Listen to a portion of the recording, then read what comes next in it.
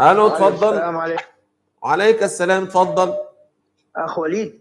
اتفضل. كيف حالك يا أخي؟ اتفضل. تفضل أنا بدي أعلق على الكلام.